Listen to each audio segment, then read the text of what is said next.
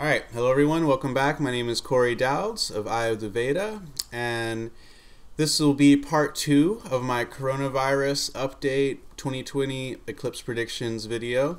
So I made a video back in March. It's been two months now, where I said how this is going to be that that Saturn is, you know, this eclipse is big, and it's the changing of the guard, and it's a very nasty eclipse.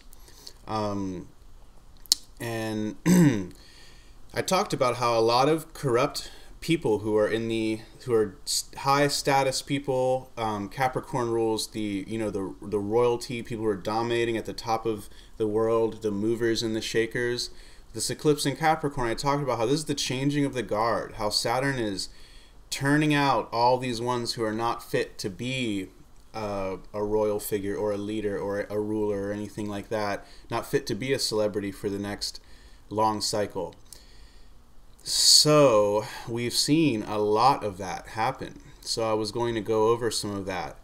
And I will break it down in two main ways. Um, one of them is all these celebrities who've been getting the coronavirus when they really shouldn't be. You know, it's kind of like karma or something higher is determining that these people get the coronavirus. Because you know these are people who are like have the best health the best ability to quarantine. They can go live in their million dollar houses alone and go swimming still and do whatever they want in their olympic sized swimming pools you know?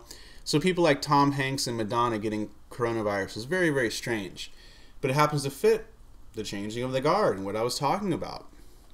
So that's one aspect of it another aspect of it is all the ceo resignations that have been happening really since Saturn first entered Capricorn, but it accelerated to a tremendous rate this winter. So those are two of the things that I want to address in this video. But before I go into those two things, I wanted to talk about the unseasonal rains and the flooding and extreme flooding that happens in that uh, I predicted for Asia and India. So let's show that uh, statement I made really quickly um, as I wrote back in December of 2019, there will likely be some extreme cases of flooding in Asia and other parts of the world. But focusing on Asia, that was because the eclipse was actually visible in Asia and not in other parts of the world. And there may be extreme thunderstorms and lots of damage due to water. Capricorn rules uh, watery ground, and Cancer also rules floodable tidal areas. And the eclipses here would bring those extremes, right? So it's pretty logical how I explained it. Um, and again, uh, we will get into that more when we talk about the corona, but the in a medical sense, this exact same thing of the flooding and the inflaming is why I knew we were going to have such a bad flu season. Um, and I even truly wanted to say something about a virus because Rahu rules viruses, and Rahu was in the sign of the lungs, cancer, so it was very pretty noticeable. But I didn't say that, so um, I don't get the credit for that. But you know, still think I did a pretty good job um, here. and then it's also interesting how you know Saturn rules the muscular and lymphatic system, which swells if it's not using up. So I wrote, if you feel cooped up this winter, just do some stretches, take a walk, keep the muscles and the lymph moving in the body, and that should help. So that's really funny how relevant that is with the quarantine and everyone being locked down, and that's like the exact advice that every expert gave everyone for this spring um, and winter. And um, here, Eye of the Veda accidentally gave that to you six months ahead of time. So, you know, again, I can't really say this easily without feeling like I'm coming off self aggrandizing myself. I don't want to come off like that. Um, so this, I'm only bringing this up to further astrology, to further the fact that astrology is so amazing. This study, I've just been in love with it my whole life, and there's so much more we can all learn from this. Anyone can make these predictions, anyone can see these things if they just take the time. So just need to pretext it with that because I don't feel comfortable talking about like um, these predictions in the in the sense that I made them, but still they you know they need to be known because right now we have people like we have the New York Times writing articles saying that no astrologers were able to forecast this. That is a complete lie. And I can tell you also that if I don't get time to talk about this at any other point, one of my colleagues, Ganesh Jayakumar, predicted in the study Kala uh, email group, he predicted this economic collapse would happen down to February and March of 2020. He wrote that like back in 2017 or so. Um, so lots of other Western astrologers have forecasted this. I don't know as much about that because I'm a Vedic astrologer, but if um, if you know about that, please leave a comment about any other astrologers who you know gave accurate predictions and forecasts for this phase because we need to kind of all come together and you know make make the New York Times realize this stuff. Like, hey, you need to actually do some real journalism if you're going to talk about this. Um, if you're going to talk about astrology, hire a qualified journalist who actually knows it, or don't talk about it at all. You know what I mean? Don't hire a journalist who spends you know an afternoon studying and researching one of the most controversial topics on the planet and then thinks he's qualified to write the article, right? But I digress. So to to first cover the flooding and the Asia and the prediction stuff, um, this yeah. So this is what I wrote. Now let's see. Um, I will try to pull up this visual of. Uh, okay, like I first showed you guys in the in the last video. Jakarta had these crazy deadly floods where 66 people died. You can watch the last video for that. I won't do. I won't speculate on that more. I've since learned about new things um, since then. So um, there have been very unseasonal rains hitting Maharashtra, and so here I'll show you this headline from on March 2nd, 2020, in from Mumbai. Various crops on about 10,000 hectares could be damaged.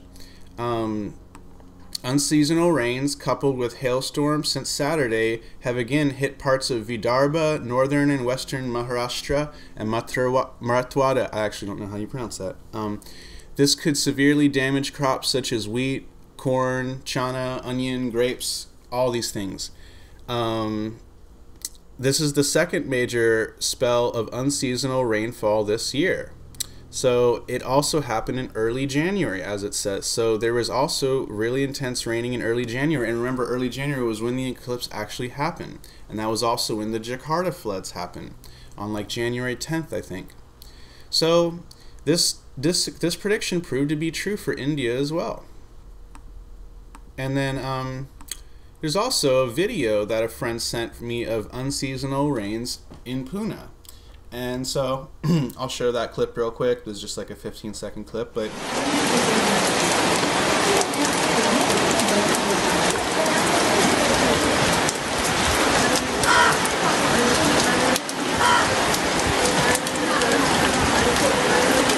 Um, a friend, a friend of mine sent that to me just so that there is a lot of that going on. Okay, so I just wouldn't want to make these like talk about that eclipse and these predictions, and then people be like, "Oh, but you also talked about flooding, and there was none of that happening." Blah blah blah. So there was that happening. Just since the media has been preoccupied with the coronavirus, doesn't mean that that's not been true. And now that Rahu and Ketu are in an air sign and a fire sign, and Rahu's still in Ardra, I'm expecting more crazy cyclones, hurricanes, um, windstorms uh, the winds, windy sign Ari, there will, or sorry, Gemini, the Ari windy sign Gemini will be creating more. Um, that same Ardra, that same destructive Rudra energy I was speaking about before, will now be happening in more of the context of cities because Gemini rules cities and wind damage. Um, could also still be thunderstorms and lightning though because of Ardra. Um, and so yeah, we will see like damage from lightning and damage due to wind in cities like perhaps big buildings or things like that. Perhaps even some buildings falling down or falls from heights um, because Sagittarius has to do with falls from heights. Sagittarius being a fire sign also does concern me for the sake of like wildfires possibly and then also just like war possibly or a lot of revolution and people are getting very worked up so um, but i'm not saying that we're going to have war i'm just that concerns me um, this upcoming eclipse does seem like it's going to have be hampering a, going to be focusing on individual freedom and uh, rights and the hampering of those um, or the not hampering of them we could say. Um, okay so you've seen that clip. So now you guys have seen the evidence for the rains and how that connects to the signs of Cancer and Capricorn and how it relates to the eclipse in Ardra. You know, Ardra is related to Rudra, and Ardra literally means moist or soaked. like the Sanskrit word ardram means soaked, or ardra is the moist, or so it's literally the star of being soaked and inundated and moist. Also, Uttara Bhadrapada has to do with that as well.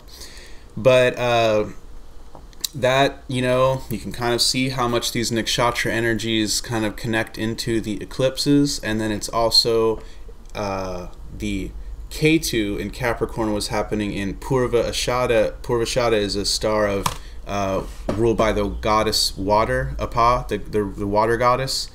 Um, so there was a lot of emphasis on water and flooding, and I just wanted to make that point.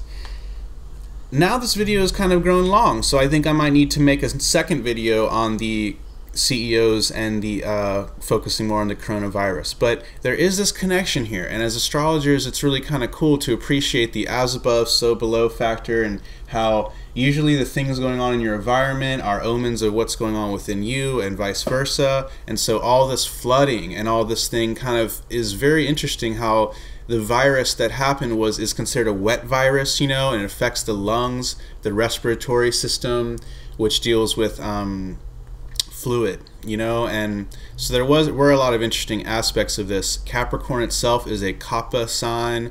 Um, Kapha, you know, it, it gets a lot of mucus, um, which affects the lungs. Jupiter is a Kapha planet, and Jupiter was debilitated in Capricorn in the eclipse. So I knew that there would be a lot of interesting medical issues, um, but as well going along with the flooding and stuff.